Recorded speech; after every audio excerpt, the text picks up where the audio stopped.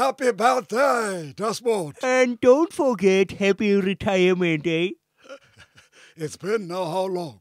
Well, too long to count, Tata. So, uh, what made you decide to call it quits? Oh, you of all people should know, you know, uh, the wheel of time turns, you know, but at some point you need to rest and, you know, put on a spare tire. Ah, yes, too true, Desmond.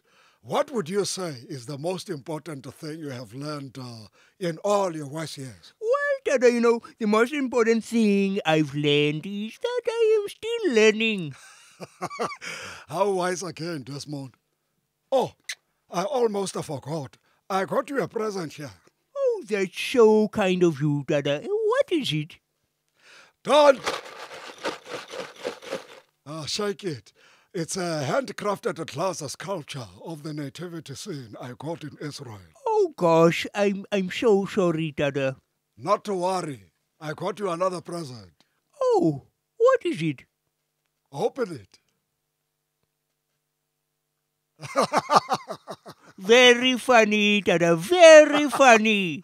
I know you too well, Desmond. You know, people with glass shouldn't throw stones.